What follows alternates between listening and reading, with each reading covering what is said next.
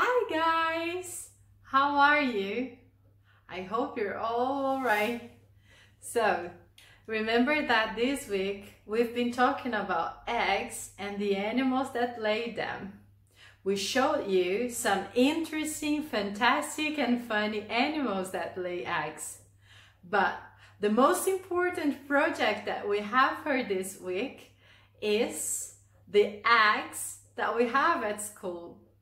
Yeah, there are some eggs there and Jill is taking care of them. And between today and tomorrow, they will probably be hatching. Yeah, the chicks are coming. Check it out, these pictures that Jill sent to us.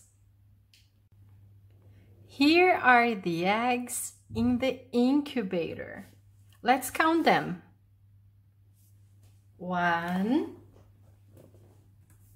two, three, four, five, six, seven, eight, nine, and ten. We also have another egg at school it's an emu egg. Look how big it is if compared to the chicken egg. Right? It is dark and the chicken egg is light. And this is a blackbird nest. Remember in the activity yesterday that we built a nest to our friends, the birds? Amazing, huh? It is pretty cool, don't you think? So before the, the activity we are going to do today, we will be reading a book together. Five Little Chicks by Nancy Tafuri. Once there were five little chicks said the first little chick. Beep, what can I eat? And with a little squirm, spied a fat wiggly worm. Said the second little chick, Beep, what can I eat? And with a little shrug, found a spotted crawly bug.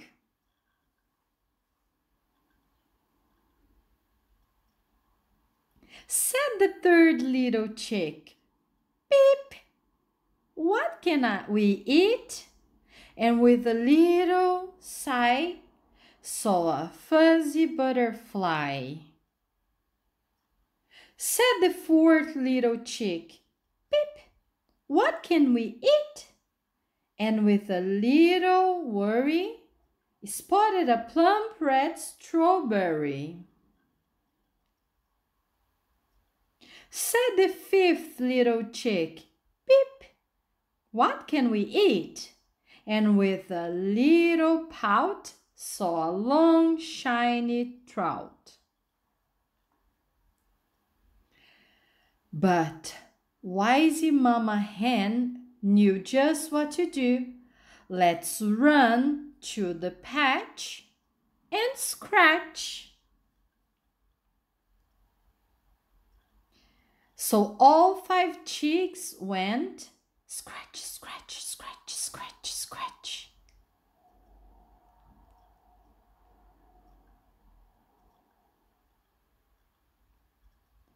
And pecked with their mama all day in the corn patch.